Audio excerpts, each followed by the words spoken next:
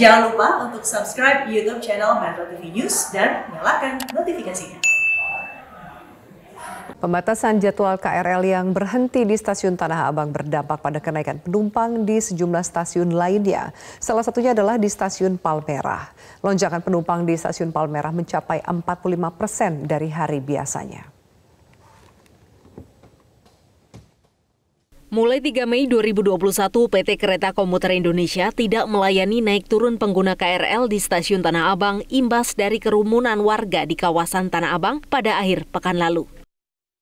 Kebijakan penutupan operasional stasiun Tanah Abang berlaku setiap pukul 15 hingga 19 waktu Indonesia Barat. Imbas dari pemberhentian sementara stasiun Tanah Abang menyebabkan penumpukan penumpang di sejumlah stasiun, salah satunya stasiun Palmerah. VP Corporate Sekretari KAI Komuter, Ani Purba menyebut, terjadi kenaikan penumpang sekitar 45 persen dari hari biasanya.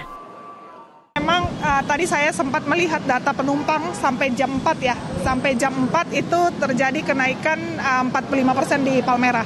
Jadi biasanya sampai jam 4 kami melayani sekitar 2.500 sampai 3.500 penumpang.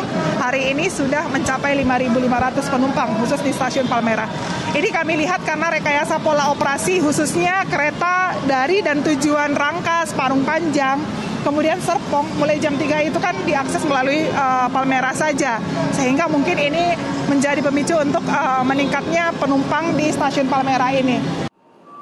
Sejumlah penumpang yang turun dan naik dari stasiun Palmerah terpaksa mengambil alternatif perjalanan lainnya menuju ke tempat tujuan atau melanjutkan perjalanan ke stasiun KRL lainnya. Pak ini kan biasanya turun di Tanah Abang, terus ya. sekarang terus turun di sini per hari ini. Gimana tanggapannya Pak sebagai penumpang? Waduh ribet ya, kita belum pernah turun di sini juga.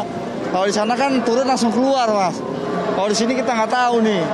Ya repot sekali ya kak ya, pokoknya repot banget deh. Jadinya kendalanya kayak gini, satu kita terhambat waktunya juga gitu kan.